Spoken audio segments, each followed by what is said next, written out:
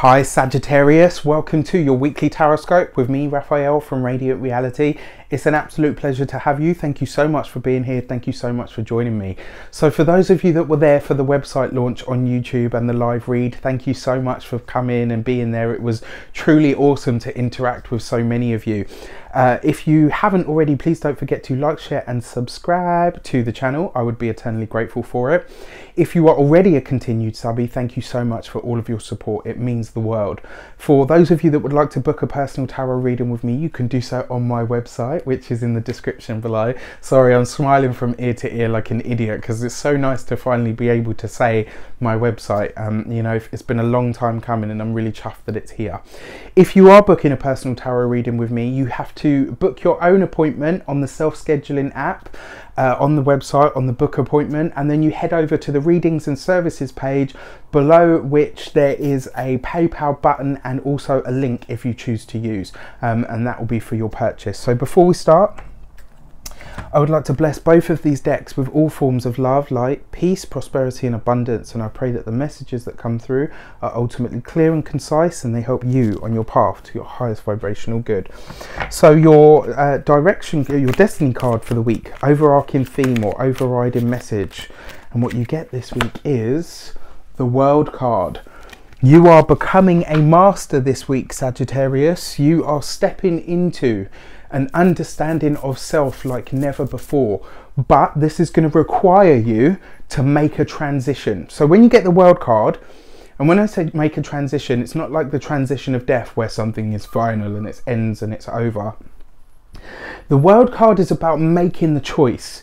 It's about saying, right, okay, I know where I've been and I know that that chapter is done now. I know that that part of my life, that era of my life, that relationship in my life is over. And in order to truly ascend into my position of mastery, self mastery, because this is ruled by Saturn, in order to truly pass the final test that allows me to become a master, I know I'm going to have to step forward. I know I'm going to, and it literally is like the way that I'm seeing this is kind of like there's a line in the sand, and to most people, it's just a line in the sand. But for you, you know, once you cross that line, there is no going back. Something really big is shaping up for you guys this week, and it starts with that very first step towards whatever your perceived um, future may well be.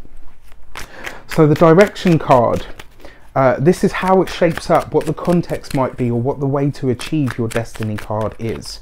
And this week you get the Page of Wands. It looks like you're getting out of your comfort zone. And when I say getting out of your comfort zone, I mean you are literally stepping out of your com comfort zone. For a lot of you, this is about travel. There is a trip or a journey that you have been putting off for quite some time, Sagittarius. And I believe it's because you know that once this trip or this journey takes place, that will be the close of the chapter and you will be stepping up, you will be leveling up. Um, and in order to do so, you've got to make this journey. For some of you, it will be going down memory lane. And as an example, um, I can give you this. When I was, I think I was about 22 or 23, um, I remember going back to a place that I had some really awful memories attached to. And I remember just walking back there and I remember standing there and looking at the building and saying, you know what, that me is done. This me is who I am now. I turned my back and I walked away. And it was just a really, you know, it wasn't a very long moment or anything like that. But I remember having the experience of saying, right, now that I've stared you down and I've looked you in the eye, I can let you go for good and that was it. I turned my back and I walked away. And no matter how many times I find myself in that area, the the energy of the experiences of that have never been able to phase me uh, since.